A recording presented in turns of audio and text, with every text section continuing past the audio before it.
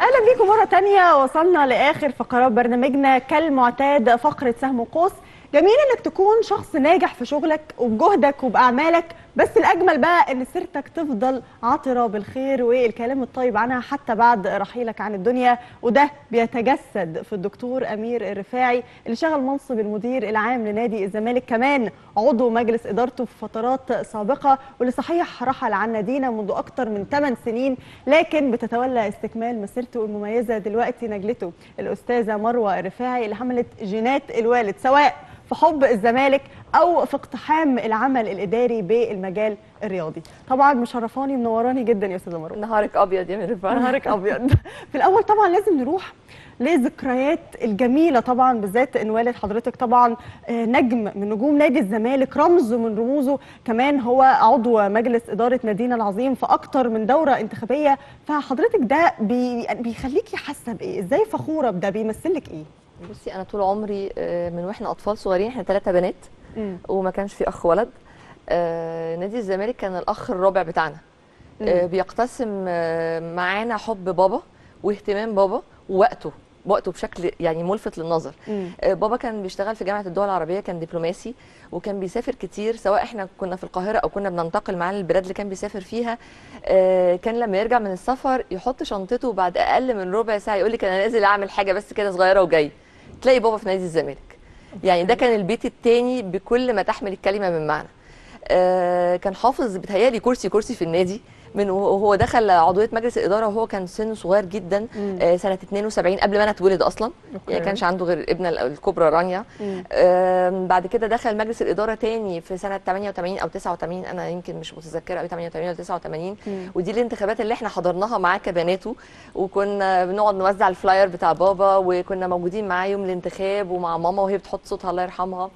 آه وبعدها بقى ساب العمل خالص في الإمارات العربية المتحدة. مم. هو كان هناك بيشتغل يعني بيشتغل وظيفة بلس إن هو كان لأول مرة يعين حد آه، مش إماراتي في نادي الصيد والفروسية آه، في الإمارات اللي كان بيرأسه محمد بن زايد شخصيا. آه، وكان هو اختيار من اختياراته أمير الرفاعي كعضو مجلس إدارة للنادي هناك. لما طولب من الزملكاوية إن هو يرجع سنة 97 هو استأذنه وقال له بيتي أولى بيا.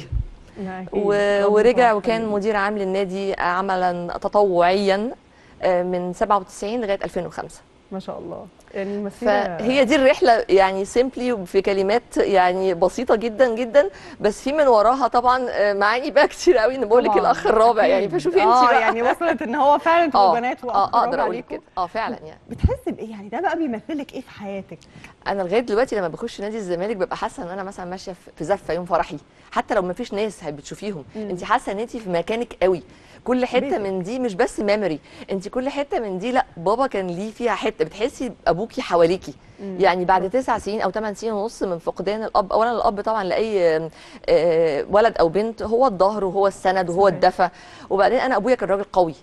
آه، كان صاحب كلمة وصاحب رأي ويعني كان سند وظهر في كل حاجة مم. فقدان الأب ما زال لغاية دلوقتي آه، يعني كأنه حصل امبارح فلما بخش نادي الزمالك بحس إن هو بيقول لي أنا أهو أنا موجود أفتكر قصص قالها أفتكر كلمات قالها. وبكرر تاني دلوقتي قدام الجماهير كلها بتاعت نادي الزمالك إن أنا بشكر كل من كان ليه ال- السبق في الحركة اللطيفة اللي اتعملت بعد وفاة بابا إن اتعمل حمام سباحة باسم بابا في النادي. وعايزة أقول لك أنا كل ما بخش النادي لازم أروح أتصور صورة سيلفي جنب ال- اليافطة اللي مكتوب عليها حمام سباحة أمير الرفاعي. لأن ده يعني بيمثل لي أنا حاجة نفسية لطيفة إن ده يعني مردود نفسي حلو عندي إن قد كده الزملكاويه مقدرين إن أمير الرفاعي كان ابنهم قوي وبيحبهم قوي وادى نادي الزمالك كتير. الحمد لله يعني. الحمد لله طبعا وهي مسيرة عظيمة محتاجة يعني وقت كبير جدا عشان خاطر نقعد نقول تفاصيل فيها. بس خليني أسألك يعني إيه هم دايما بيبقى موجود آه معاكم في في الحلو وفي الوحش إيه المواقف اللي حضرتك فاكراها قوي ليها علاقة بالزمالك وهو موجود؟ الانتخابات الساخنة في مجلس إدارة نادي الزمالك دايما كانت آه، يعني كل آه، موضوعها مطروحة عندنا في البيت. مشاكلها بتحل من عندنا في البيت okay ياما في مجلس سمعت. قعدات آه ياما سمعت قعدات صلح بين فلان وفلان okay. قعدة توافق فكري بين طبعا إحنا كنا أطفال يعني آه. في المراحل دي إحنا كنا أطفال حاجات بتعلق آه كده. بتعلق. و- وبتشربيها بتلاقي نفسك زي السفنجة امتصيتي ال- ال- ال- الطريقة أو ال- ال know-how يعني زي ما بيقولوا زمان ما كانش في موبايل فكنت أنا بعمل أنا ورانيا ومي إخواتي السكرتيرات الش... الشخصيين لأمير الرفاعي في مصر إن إحنا دايما بنرد على تليفوناته فأنا يعني أفخر بإني رديت على تليفونات كمية ناس من الشخصيات الكبيرة المقامات والقامات العالية جدا في نادي الزمالك آه، وكان بي... طبعا في آه، أطراف حديث لطيفة بيننا وبينهم آه، فحتى الناس اللي أنا ما, يعني ما اتشرفتش إن أنا أعرفهم بشكل شخصي أو إن أنا ألتقي بيهم لأني كنت صغيرة آه، فأنا كان في بيني وبينهم دايما آه، يعني احتكاك من خلال الوالد يعني. طيب أكتر حد كان قريب لوالد حضرتك مين؟ كان بيحب قوي أنكل جلال معوض. آه، وطنط ليلى فوزي طبعا الله يرحمهم. الله يرحمه آه، آه، دكتور كمال درويش ربنا يديله طول العمر كان حبيبه. آه، أنكل جلال أنا مش عايز أنا خايفة أنسى حد. بس أنكل جلال إبراهيم وأحمد جلال إبراهيم. آه، يعني الناس اللي كابتن ياسر إدريس مم. ابنه اللي ما خلفوش. آه لا في ناس كتير أنا أنا مش يعني أنا أخشى إن أنا حد يزعل مني عشان مش لا فاكرة دايما بيبقى في حد معين كده بيحصل مواقف ما بينهم آه، كابتن حمادة. إمام وحازم وكان دايما يعلق على إن حازم تربية النادي وإن هو آه، يعني اللي هو الحد اللي ما فيهوش غلطة اللي هو رياضيا شاطر قوي اللي هو مم. متربي كويس قوي اللي هو مامته تعباهم فيهم هو واخوه قوي يعني في. كمية يعني آه، كومنتات كده بترسخ في الذهن يعني مين كان أقرب لدكتور أمير ساعتها من إخواتك انت ولا إخواتك؟ آه، بصي هو كل واحدة فينا في واخدة حاجة فيه آه يعني حب العمل العام والزعامة امم أعتقد إن دي أنا okay القرب منه قوي وتحب كانت تمشي معاه في النادي من وهي صغيرة وكانت دايما تقول لكل الناس حتى الأطفال الصغيرين لما تبقى بتلعب معاهم رانيا الكبيرة okay. آه. وقعدت أربع سنين هي وحدته و- وكان عضو مجلس إدارة وهي لسه عندها سنتين فهي اتربت في هذا ال field فهي يعني حتى إحنا ماسكينها لها كده هزار كانت دايما تقول أنا بنت أمير الرفاعي. okay. يعني فاهمة قصدي آه، إزاي يعني؟ دايما حد كده بيمشي آه، كده اللي هو شوية. يمكن ما ولا مش عنطزه والله لا بس هو افتخار يعني. أيوه أكيد طبعا عنطزه بالجانب الحلو آه آه. يمكن مي ما لحقتش ده قوي أو ما عاشتش ده قوي لأن دي كانت الفترات اللي إحنا كنا مسافرين فيها مع بابا بقول لك مع الجامعة العربية فكان يعني في فترة تونس فترة الإمارات فيمكن مي ما عاصرتش ده قوي. لكن مي عندها ابن صغير دلوقتي سبحان الله 12 سنة زملكاوي صميم ويعني مش عايزة أقول لك هو دايما الأجيال دي أتوقع يبقى. أمير الرفاعي تاني صغير إن شاء الله بإذن الله يمشي على نفس نهجه طب. أول مرة دخلتي النادي كانت إمتى ثلاث أربع سنين في في البوسات أصلا آه، آه. طب أول مرة واعية لا يعني انت أول مرة كده كنت متحمسة. هي غالبا انتخابات 88 أو 89 دي كانت أك يعني أكتر وقت إحنا بدأنا نحس على الأرض يعني إيه بابا وهو بيعمل إيه هنا وارتباطه بنادي الزمالك ده مش النادي اللي هو إحنا فاكرينه فور فان بنروح عشان نتمرجح ونقعد ونتغدى ونروح. لا لا لا. هي 88 89 بدأنا إحنا نلمس على أرض الواقع إن نادي الزمالك ده حاجة اسمها في حاجة اسمها عمل عام وإن دي حاجة مهمة جدا وان وإن دي بأهمية الوظيفة. يعني مم. هو كان دايما فكرة وجود نادي الزمالك في حياة أبويا كانت آه، يعني ماشية متوازية مع مع شغله في أي مكان هو كان فيه طب أكيد بقى كنتوا بتتفرجوا مع بعض على الماتشات طبعا آه يعني طبعا. يعني أنتوا أنتوا ثلاثة وكمان زملكاوية ويا ويلو اللي. يتكلم يقول كلمة أو اللي يعدي قدام التلفزيون أثناء أثناء أكتر الماتش. ماتش بقى فاكراه اتفرجتي مع الدكتور فيه طبعا هي الماتشات اللي؟ اللي الزمالك كان بيلعب فيها مع أي حاجة من ال من ال يعني الفرق الخارجية آه. كانت بتبقى عملية يعني قاسية جدا. آه، أو طبعا ماتشات القمة الاهلي والزمالك. طبعاً. آه آه آه. فدي كانت طبيعه خاصة. الصمت الرهيب. ما حدش يبربش كده بس أثناء الماتش يعني. طب الأجواء هل بقى بتتعصبوا؟ لا إحنا ما عندناش تعصب يمكن عشان بطبيعة تكويننا كبنات. آه، بس أنا ما انساش إن الحاجة آه، اللي ممكن أبويا دموعه تنزل عليها ودي كانت قليلة وعزيزة للغاية وحطي تحت الغاية 10 خطوط هي مكسب نادي الزمالك.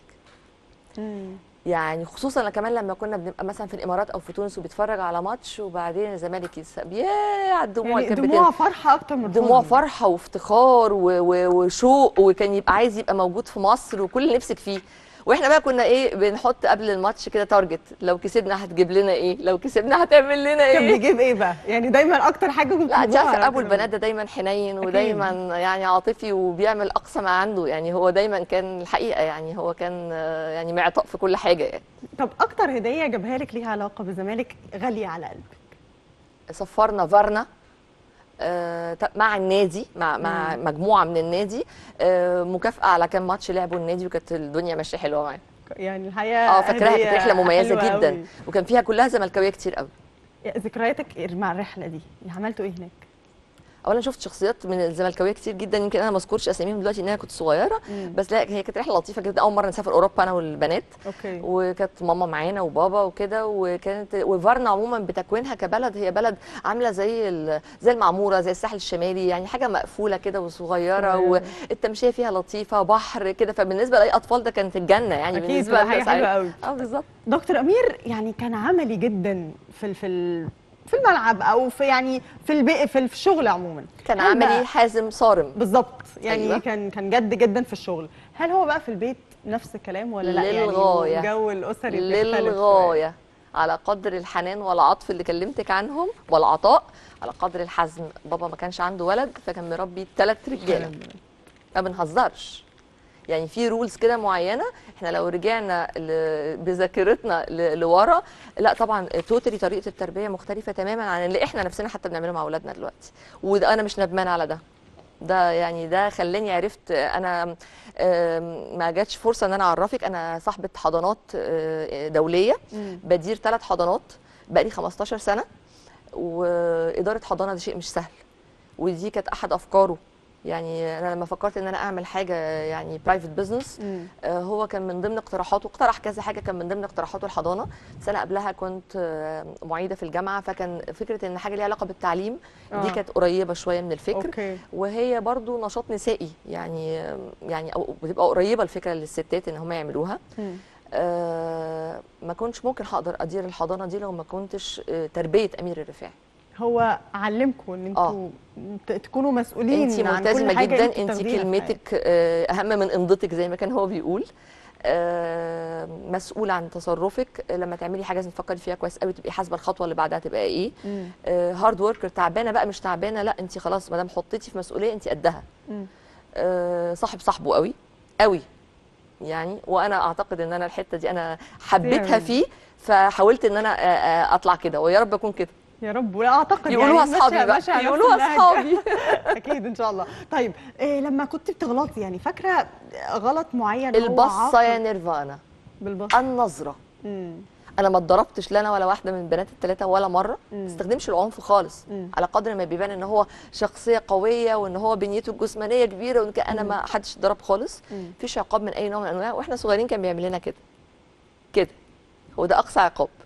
بس هي البصه أو إنك تحسي إن نهار أبيض ممكن يزعل منك. لا لا لا, لا, خالص. الرهبة كمان. فظيع. آه. يعني هو كان يحط المفتاح في باب الشقة تلاقينا إحنا الثلاثه نجري الأول ولو كله ياخد وضع الاستعداد يعني. يعني أعتقد وعن حب من طبعا. من ضمن الحاجات اللي يعني اللي إحنا بنفتقدها دلوقتي في كتير. في, في إحنا التربيه إحنا التربية بندلع. إحنا بندلع إحنا بندلع. وده مش أحسن حاجة. مش بقول لك يعني مش عارفة أقول هي مش أحسن حاجة ولا يمكن الجيل اللي موجود دلوقتي ما بقاش ينفع معاه قوي فكرة الترهيب بصي من من من واقع آه، موقعي آه، في تربية أجيال أيوة. في الحضانة أوكي. ومن واقعي إن أنا أم آه، لولد وبنت مم. في ايدج لسه يعني أعتقد إن هم محتاجين فيه برضو رعاية أم يعني مم. يمكن أدهم لأ 23 سنة تكون خلاص بس ليلى لسه سبعة آه الأم يعني. موجودة على طول طبعا دايماً. طبعا آه، أقدر أقول لك إن يعني ده لهو عليه مم. يعني هو برضو ال- ال- اللين والقرب من الولاد بس هو كان صاحبنا برضو. يعني هو كان الحزم كان عامل برضو يعني يعني بالانس حلو قوي. هو كان صاحبنا جدا وكان بيسمع لنا جدا وكان ديمقراطي جدا. مم. إحنا كنا بنعمل انتخابات في البيت. طب ده حلو. آه في يعني في كن آه كنا ساعات آه يعني لما- لما بنيجي ناخد في فكرة مطروحة في البيت ويا آه ولا لأ هنعملها هنسافر هنجيب هنشتري هنعمل أي قرار مصيري كنا بنعمل فوتنج عليه.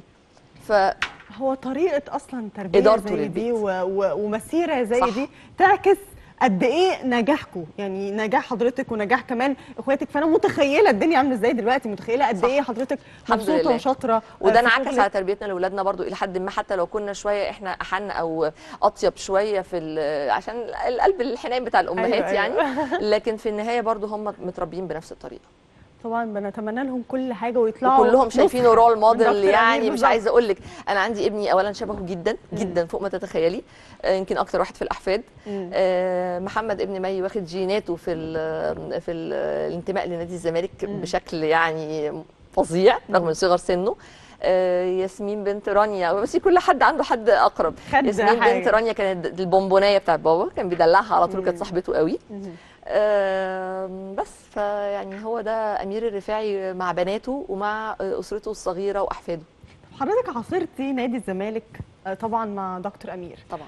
دلوقتي شايفة إيه الاختلاف اللي حصل؟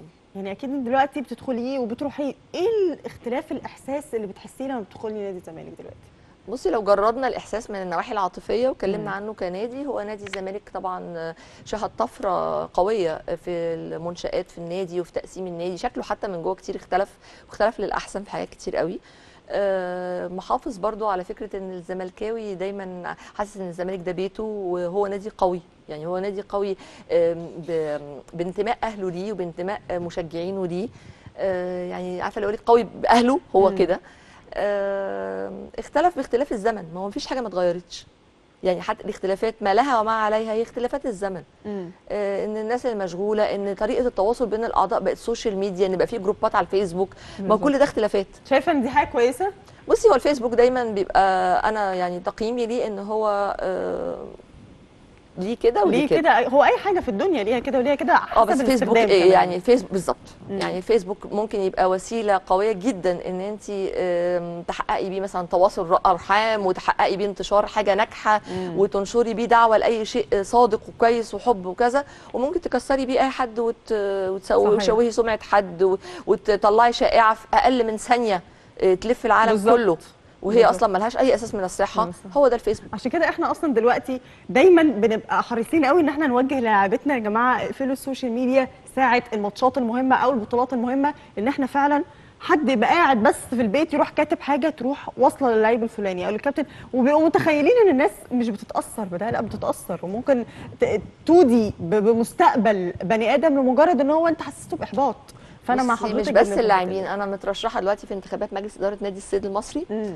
آه، بقسم لك إن الفيسبوك كان محرك أساسي في إن الحالة المعنوية للمرشح والحالة المعنوية والاتجاه للأعضاء آه، هو اللي بي بيعمل زي ال remote control أنا جيت أخدت قرار في نص رحلة الترشح الانتخابات دي إن أنا آه، هصم أذاني عن أي حاجة هدامة موجوده على ال social media وكأنها غير موجودة غير إن أنا لو عايزة أنا أوصل رسالة آه، إيجابية أحطها أكتر من كده لأ لأن الكتير ده أحيانا كتير قوي بيبقى عبارة عن bubble وبتفرقع في الآخر وانت المشكلة كمان مش بتعرفي تfilterي. الحلو من الوحش يعني انت. غصب عنك عينك بتقع عليه نفسك بتروحي صح. للحاجات الهادمة ف زي ما حضرتك قلتي في الأول هي ليها ال pros وليها ال cons بتاعتها صح، إن هي في صح. شوية إيجابيات شوية سلبيات بس على حسب استخدام كل حد فينا يعني برضو فكرة إن إحنا دلوقتي إن إحنا دلوقتي بقى بننشر الوعي أكتر في طريقة استخدام ال social media طبعاً. بنقول للناس يخلي بالهم